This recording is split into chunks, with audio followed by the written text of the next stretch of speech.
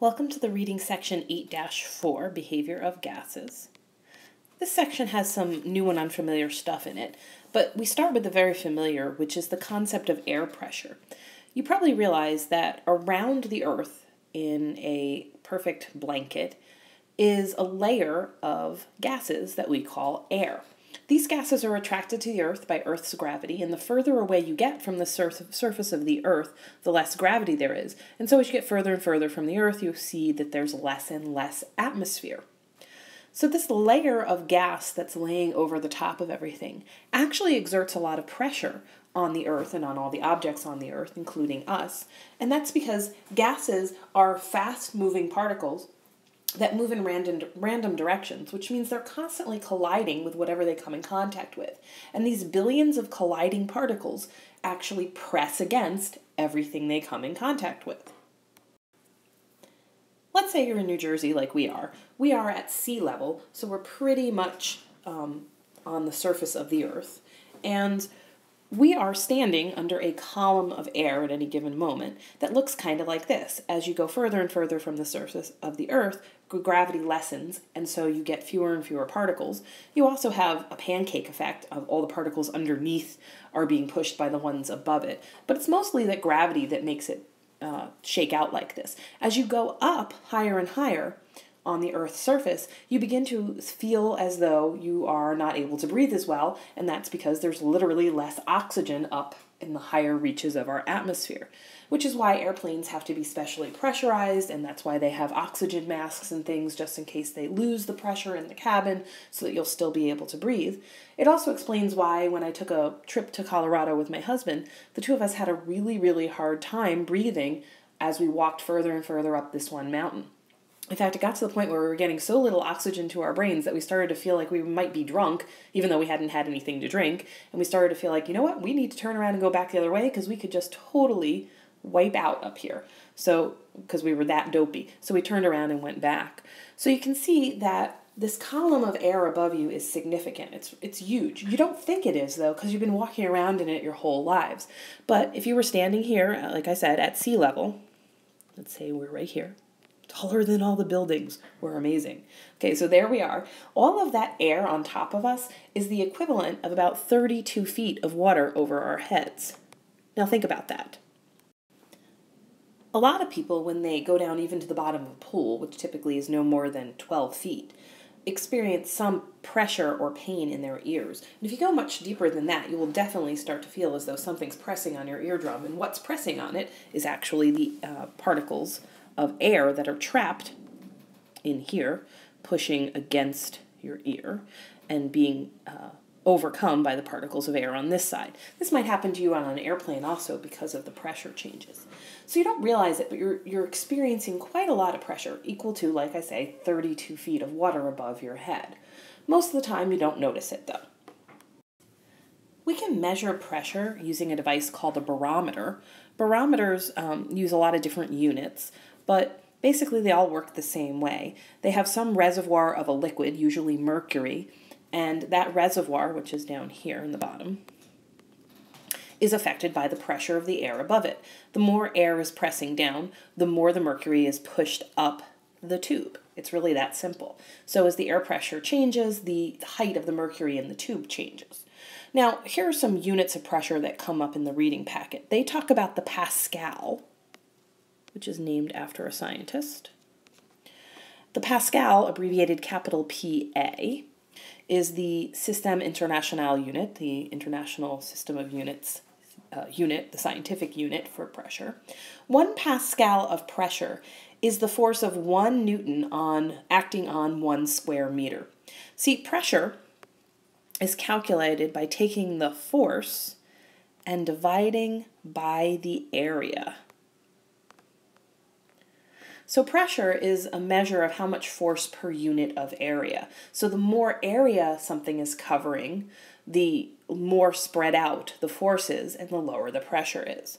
So you notice this if you've ever um, thought about this problem. Imagine that you are laying on the ground and someone's going to step on you. Do you want them to step on you with their high heel or do you want them to step on you with their sneaker? Probably with their sneaker, because that high heel has the same amount of force coming down, because it's the same person, let's assume, and they have the same amount of weight, but it's covering a much, much smaller area, so the pressure from that heel is enough to puncture you. Whereas when it's spread out with the bottom of your sneaker, not so much.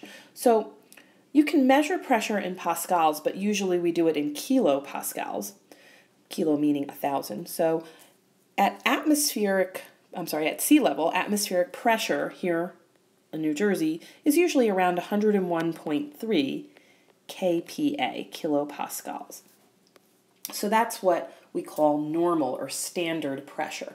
The pressure, the normal pressure at sea level, which is what a column of air is normally doing just about where we are. But how much pressure is that really? Well, according to the reading packet, this 101.3 kilopascals of pressure is the equivalent of 100,000 newtons pushing down on each square meter of the Earth.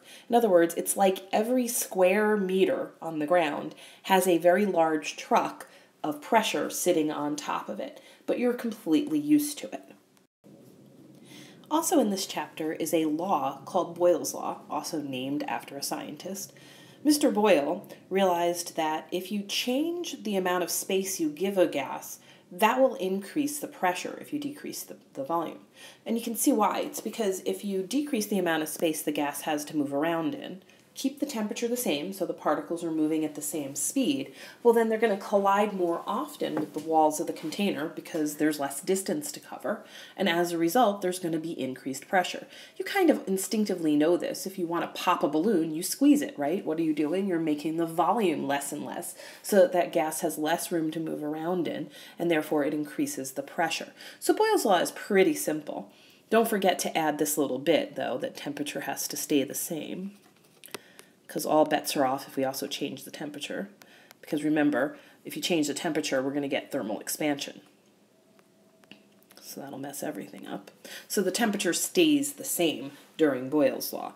Now, just want to point out here that the word law in science refers to a description of an important observation. That's how you get the title law. All we do with a law is describe what we see happening, and this is what Boyle saw. He saw that when he decreased the volume, he increased the pressure of a gas. That's different than a theory. Like the kinetic molecular theory is a theory because it tries to explain why we get what we get when we see Boyle's law, and that explanation is a explanation of the black box because we can't actually see these particles. We're just sort of theorizing that they exist based on the fact that we observe Boyle's law. There's another law that's similar that relates to temperature. And here we have Charles's law, which says that the volume of a gas increases with increased temperature, assuming we keep the pressure the same. So pressure has to stay the same in this example. And the way we keep the pressure the same is by allowing the container to have an expandable wall. And we make that with what's called a piston. A lot of problems on tests and quizzes will involve pistons, so you should learn what a piston is. A piston is one of these movable pieces in a cylinder that slides back and forth. So this piston can move up and down. So as we increase the temperature of the gas, the particles speed up, they move faster, they bump into each other more, they press on that piston, and in order for the pressure to stay the same, they've got to be expanding the, the volume of the container so that they have you know enough room to move around for the amount of energy they now have. And that's really what charles's law shows us. It shows us that if we have an expandable container the pressure will cause a volume change. As the pressure builds up it pushes that piston up and increases the volume of the gas. So charles's law and boyle's law kind of go together. They're related to each other. The overall concept is that pressure, volume, and temperature are all related in a gas. If you change one, you're basically changing the other two, or at least one of the other ones.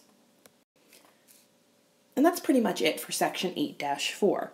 There is a section 8 dash 5, which we will get to, which talks about the behavior of fluids. And the word fluid refers to not just gases, but also, also liquids, anything that can flow. And so we'll be adding some laws to the two that we covered here. So it's really important that you get Charles and Boyle's down now so that you're not confused when we add a whole bunch of other things that are also called laws. And it's also really important that you realize that both Boyle's law and Charles's law are explainable through the kinetic theory of matter. So it's explained, we can explain Charles's law and Boyle's law, these two observations, by the fact that we believe that matter is made of particles and that those particles move faster with increased temperature. If we didn't believe that, it would be really hard to explain Boyle's and Charles's law. What would be causing those changes? What would be causing those observations? We'd have no other explanation. And that's it for the reading packet. I hope you uh, got something out of it either by watching these tutorials, doing the actual reading, or a combination of the two. And I will see you guys in class.